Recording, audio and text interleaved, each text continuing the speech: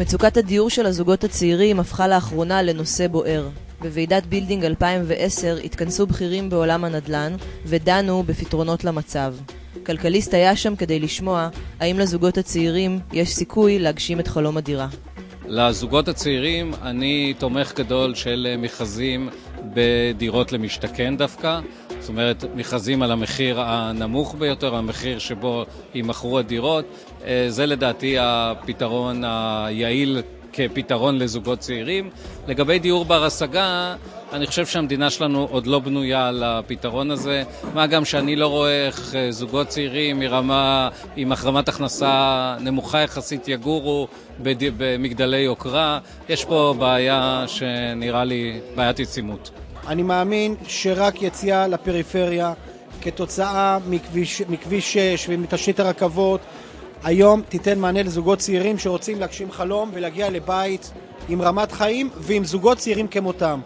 אני מצפה שבעתיד המאוד מאוד קרוב אנחנו נראה אלפי זוגות צעירים מהבורגנות של המרכז עוברים היום לפריפריה. מה בעצם צריך לקרות כדי שזוג במדינת ישראל יוכל לקנות היום דירה במחיר שהוא סביר?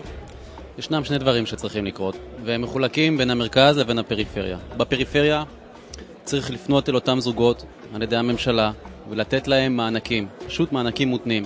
אפשר להתנות את זה במגורים שלהם בפריפריה לאורך זמן, אפשר למצוא מנגנונים מתוחכמים נוספים כדי באמת לאפשר לפריפריה להתפתח, אבל זו הדרך.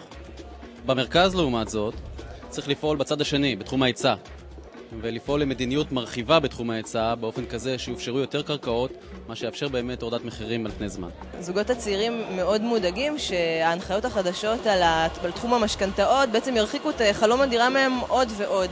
מה הצופה שהולך לקרות בתחום הזה? אני מניחה שימצאו פתרונות. אני חושבת שיש מקום לתת פתרונות מקבילים לאותו פלח שוק שאליו, אני, למיטב הבנתי, ההוראה לא כיוונה, היא כיוונה יותר למקום, למשקיעים. למשל, דרך הקלות במתן סבסודים כאלה ואחרים על ידי הממשלה. אגב, באופן אישי, אני לא מאמינה בסבסודים שהם רק בחד כיוונים, אלא בכאלה שמאפשרים גישור לתקופה הראשונה שבה הזוג הצעיר עדיין בשלבים הראשונים, ומוצאים את הדרך בבוא העת להחזיר חזרה לקופה ולגלגל את זה הלאה לזוגות הבאים. אתה ממליץ לזוגות הצעירים להמתין, או לקנות עכשיו את הדירה כי המחירים עוד ימשיכו ויזנקו? אני לא הייתי מחכה. אני הייתי חושב, יפה שעה אחת קודם. כל אחד מאיתנו שהיה זוג צעיר פעם, גם אני פעם הייתי זוג צעיר, לפני מספר שנים, ולכל אחד יש את הסיפור שלו, של הדירה הראשונה שהוא קנה. ואין מה לעשות, צריך להתאמץ ולקנות.